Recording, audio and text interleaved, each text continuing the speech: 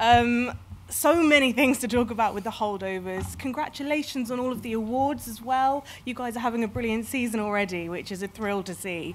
Um, Alexander, start with you. It's pretty rare for you to commission a script, right, rather than write one yourself. So can you tell us about why that worked on the holdovers and how you collaborated with well, David I, Hemingson? Yeah, I had David Hemingson, the screenwriter. I had had the idea for the film for many years, but hadn't done anything with it because I hadn't, I personally had not had the life experience of those boarding schools in New England. Uh, and then the gods sent me a TV pilot, a screenplay for a TV pilot written by David Hemingson that was set in a in a boarding school. So I called him up and, as you say, commissioned a screenplay. I said, I don't want to do your pilot, but would you write something for me? and he said yes. And then it was my first experience, let's say, directing a writer. Oh. You know, he proposed two, three, four different s- story trajectories, and I chose one, and then we kind of went back and forth a lot when he was writing it. What did that look like when you say you went back and forth? Tell us about that process. Well, he would write something, and I would criticize it. and then I would rewrite it and give it back to him, and so it went. And then, but uh, the good part is that we wound up with a screenplay quite personal to us both, Oh, and I'm very grateful to it. that's very special. Yeah. These these characters are all sort of united by their loneliness. So tell us why that was a particular theme that you were interested in exploring.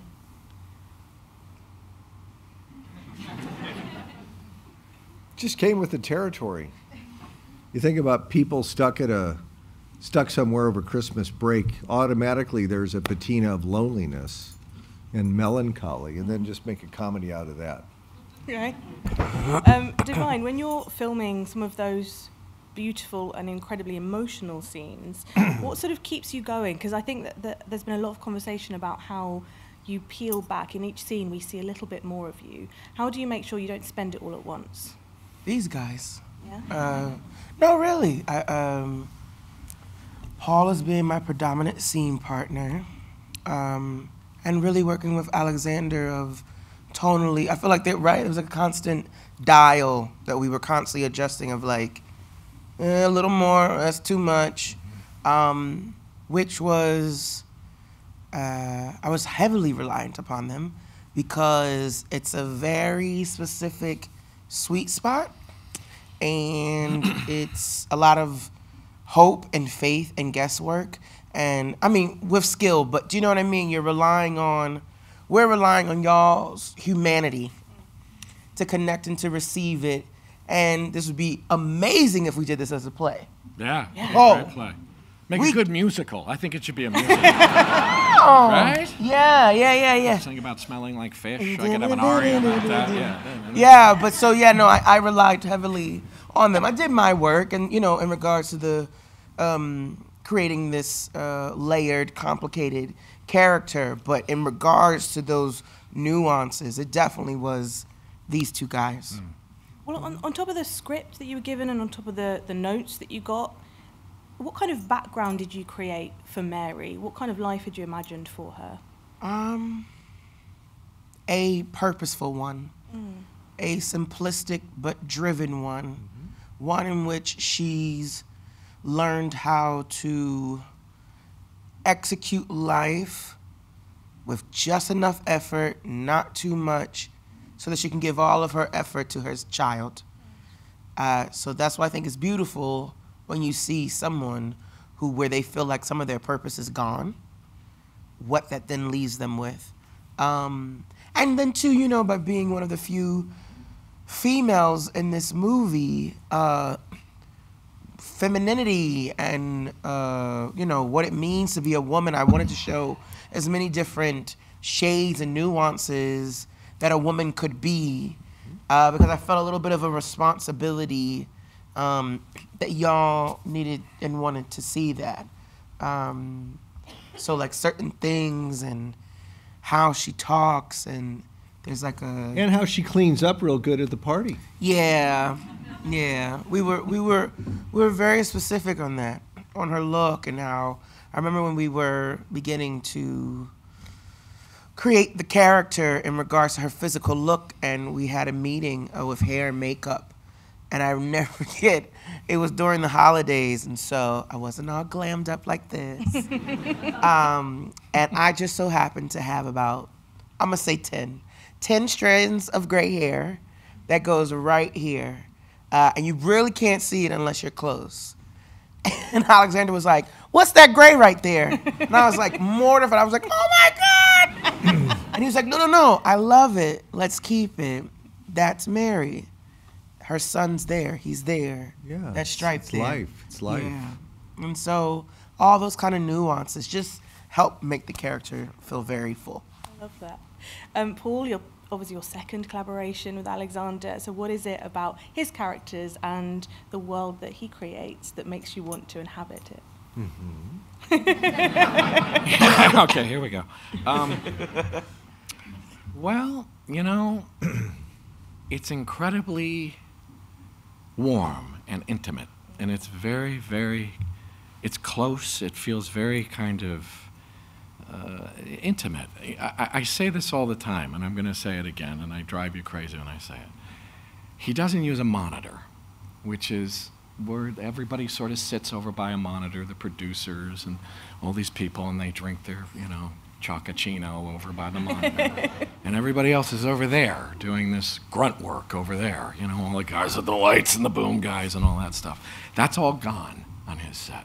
There's one place where everybody works together and everybody's working on the same job and there's no hierarchy and there's none of that crap. There's just one place where everybody is together having a lovely time. And it's, I've never experienced anything like it, and I don't think I ever will again. And so I was dying to do that again. Because you go off, and yes, it's all the chocachinos, and everybody's sitting there looking at the monitor and going, his hair looks strange. Does his hair look weird? Like that, you know, and, and thinking they're doing something, and they're not. Mm. And, and the work all happens in one place. And it's fantastic. It's a simple thing, but it's huge. And he stands by the camera and he speaks to you hmm. sometimes from off camera. he does. really and he does. sits, and you know he's there, and you feel a human being is watching you. You're not being watched by a piece of machinery. You're being watched by human beings running the machinery, who are using it as a tool to watch you. And he's sitting there with them. And that's huge. It's a completely My different response is that's how most films were made. Yeah, at one This, time. this whole monitor business is new in, in human history and cinema. history. yeah, yeah. Casablanca, no monitor. No monitor. That's right. Bicycle thieves, no, No monitor. monitor. Um, I want to talk about the, the physicality The of. Dam Busters, no, No monitor. monitor. I think a good English film there. It's an English film anyway. um, oh, Paul, I want to ask about Hunham's kind of unappealing characteristics because we can we can smell him from Oh, our good. seat. You can? Excellent. We absolutely can. Excellent. We can we can feel his Smello-vision. Yeah, okay. So how did that sort of all of those descriptors? How did that afford you an insight into his physicality and how he would hold himself and how he Yeah. would be around other people? Well, all of those things were wonderful. I mean, I've dreamed long and hard of playing a man who has trimethylaminuria, um, hyperhidrosis, and things like that. They're wonderful things. I mean, I, l- it, they, they put him further and further outside a zone of acceptability. You know, they make him further and further a misfit. You know, and so he's he tries to put more and more armor on to cover it up. He's got a real shtick going, this guy, and it's safe feeling and it's fantastically reassuring to him. And he's got his intelligence that he can hide behind and amuse himself with, and nobody else really. But he's super amused by himself, and and all of these things make him feel like he fits into this place, and he kind of doesn't really and he wants desperately to connect. He doesn't even know how badly he wants to connect, and he certainly doesn't know how to. So all of that stuff. I will also say you were talking about the hair and makeup people and how great it was, and they said to me, "As much as you can, please don't bathe." They said that? Yep, and I said, "Yep, yep," and that's what I did for you in this. All of you, I didn't bathe very much. That's why we but it does give you a bit of a tactile sense of the man. And so, so that yeah, they did. They said as much as you can. They said it to Dom too. Don't don't. So y'all were just smelling like shit around No, we weren't smelling like shit. You didn't notice me smelling like know. shit, did you? You never noticed me smelling like Whoa. shit. No, as much, not all the time, not bathing. Just occasionally, just let it go so that it'll look a little bit more A little bit more, ta- little bit more, a little bit more tacky. a little more fish belly white. You know what I mean? Yeah. Who said that? Sarah? No, Michael, Oh, Mike, Michael uh, did. White, Michael White, Hair guy. the hair guy. Be greasy. He was like, get greasy. greasy. I'm gonna have to send him Listen. an email. Telling him what a good job he did. I don't know about that. Um, Alexander, with the film just kind of select, kind of set in the middle of arguably the greatest period of musical history. That's when the best musical, I think, anyway. How do you? Beethoven and Brahms may argue, but Okay. okay. go ahead. I did say arguably, but well, you, you're kind of like a kid in a sweet shop. Surely, how do you decide? How do you land on the right music? Because there is so much wonderful choice. Thank you. It was a long process, really stretching the entire length of post of editing on the mm. film, and involved myself, obviously, Kevin Tent, the editor, who has a very good musical sense. But we have also uh, a third member of that musical triumvirate, uh, a music editor who's been working with Kevin and me for 25 years, ever since election, wow. named Richard Ford, born in London, actually. And uh, it's just a constant process of trial and error. Yeah. And then when we get everything just perfect, then we're told what we can afford. and then we have to scramble to switch out cues. What are you especially proud of getting in there that you could afford?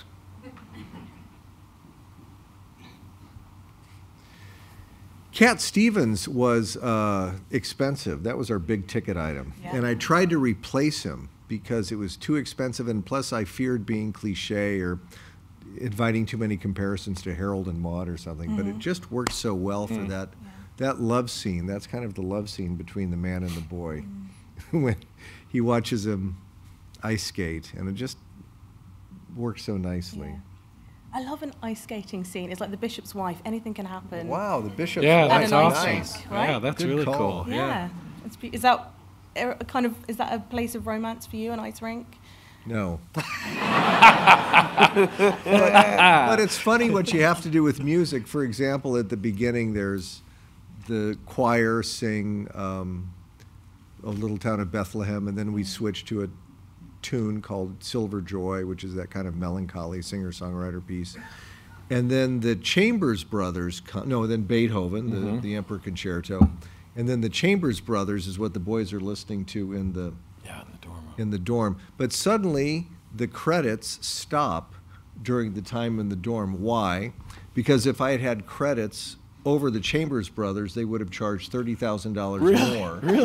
Wow! Because it would have been considered a credit sequence Wow. then, and they, they jack up the price for opening or end credits. Wow. Yeah, don't tell the Chambers Dang. Brothers. Well, well, them.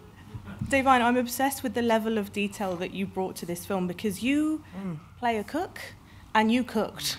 Yeah. That seems so unusual. Tell me about that technique. Why did that work for you for Mary? Um, we, we were talking in our first conversation, Alexander and I, um, and I think we got on a, a topic of food, maybe. And he said he liked to cook, and I was like, "Here I go. I'm gonna dive in. Let's see if he bites." And I was like, "So, I think she should cook, for real, for real." And I like to cook. And he like perked up at the idea and he was like, sure, I'll talk to props. We'll figure it out. We'll get real things. He even asked me, what do I think the Christmas menu would consist of? We figured that out together. Um, and it was amazing. At that time, I don't know if you guys have it yet, but there's a new Julia Childs uh, series. Julia. And the, yeah, Julia. And so uh, the Oh, was that a thing at food, the time? Yeah, Uh-huh. the special Oh, cool. food props people for that show came and did. Yeah, they did period food. They made Did our show. appropriate Based in. Boston, because that Yeah. show had Right, shot in yeah. Boston. Yeah. Um, and so, well, I just, I don't know. I, from reading it, it felt just very, on the page, everything felt very intimate and magnetized. Does that make sense? Like, and reading it, every single, like, there clearly is four cups. It needed to be there was a white lid, a black one. It When I read the script, it was so specific that I was like, if I come in here being like, like, it's gonna throw it off. Yeah. So I was like, please, can I really chop? Can I, you know, do those things? Because I think it would have stuck out like a sore thumb, otherwise. Um, and, and so yeah, I think for all of us, Yeah, little yeah. little details. All the detail of it was amazing. It, it would show up. yeah. Some projects you can be a part of. I won't name names. Oh. And you can, I hate you. or you can hide behind the, you know, Yeah. and no one will ever know. And I knew from reading the script, I was like, everything that this character is supposed to be doing, I gotta learn how to do this. Which also I think I don't know about you, but as an actor, that's really that's part of the fun Yeah, for it me. is part of the fun. Yeah. To, Yeah. To, pick up a new thing. yeah, or like what are execute their something skills for and traits yeah. and stuff. For sure. For sure. And let me learn it in Yes. three months. Yep. Paul, Yeah. Paul, have you ever Three weeks. fenced on stage? I fenced on stage. Yeah, believe it or not. Yes, I have. Because in your training, you still probably learned We had to fencing. do it. At, did you have to do it at Yale? We both Yeah. went to the On same drama school. On guard. We both had to. We both went to the same drama school. They still do it. The fencing. You do Yeah, and now that I know, I want to duel you. Oh, that's gonna be good. Yeah. All right. yeah. and the, the levels of production design. Paul, tell us, is there anything on the set, because I know that the detail was phenomenal. Yes. Is there anything that is just sort of added to the character of Paul that Yes. you maybe hadn't thought of? I thought that his vice, this guy's crack, Yeah. were cheap mystery novels, were crappy mystery novels. So those are all around. You can't see them, but they're in the, they're in his room. They're all around him because that's what you know. He's he wants to shut off and he just sits and Yeah. reads kind of cheesy mystery novels and stuff like that. But the set, the set dressing and the design and everything was fantastically complete. You felt that you would go, you could turn anywhere, and there was something mm. that kept you in it that you could touch and feel that you could absorb all the time. And also the the locations. You know, we're in this. We were weren't in an any old. sets. No, we were no no sets in these old like convent where we shot. The, the stuff when we're watching Oh, the yeah, the newlywed game, when we're Game. watching TV, like the wood, the weird old fading wood and stuff, and You said everything. the radiator, Yeah. the radiator the radiators would on. bang and the you know like So you had to clanking. turn 'em off Yeah, but and it's be in the cold. Yeah, well, Sounds good. cold for comedy. You know? Yeah. but it, but they would make all this. I mean, everything was tactile. It was all there. You know, you felt it. You can absorb it. It's great.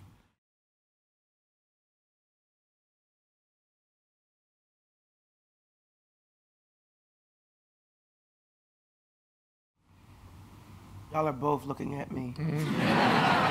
wow. Well, Uh, if I think off the top of my head, it would be my second grade teacher. Her name was Miss Greenewalt, and she was deaf. And so, in preparation for our second grade, in first grade, the school began to teach us sign language. Uh, and they had certain technology that they would give us to incorporate at home so we'd be ready when we had our class, when she taught us that year. And I think the biggest thing I learned from her is that your differences empower you, and that you could never truly come from a place of lack if you're open and willing to try. Um, and I think, you know, I, I went to prep schools all the way through, but what do they call them? Like, I was a day uh huh. Day student. a day student. But being that my mom was a teacher and education was so important, I went to these schools. But in these schools, I was bused there. So I was living in inner city Philadelphia, being bused to these affluent suburbs. So I always felt othered. And so she always made sure to incorporate me and make me feel seen. And that uh, she just even at second grade which i think speaks to how amazing she was that i remember this. She let me know that i was different but that it was okay and that it was beyond my color. And that like she was different. She just let me know that it's going to be an interesting road for you but if you find out who you are and you commit to that and are kind and love others the universe, karma, will always take care of you and, and make sure you are safe and good. So that's something that I've just tried to live by always. What did your mother teach? My mother taught uh, K through 5 but kindergarten was her sweet spot. Um, and I just thought it was it's a very special grade because so much happens uh, in that year, and my mom just really went above and beyond. And you know, like I don't know, in America we have this thing called like hooked on phonics. So it's like my mom wanted to make sure that everyone leaving from kindergarten was like a like their reading skill set was above and beyond. It was very important to her. Um, and also at that age, it's probably one of the more personal years than normal. And I remember um, clothes that we no longer wore, food my mother would, you know, provide for the students or make, because uh, again, we were teaching in the inner city, uh, making sure that they were provided for and taken care of. So yeah, that was always, teaching has always been something close to me. And I'm really sorry we are going to have to wrap it there, but thank you so much for coming along. Thank you to our wonderful panel. Thank you. Thank you. Thank you so much, Alexandra. Thank you. Thank you so much.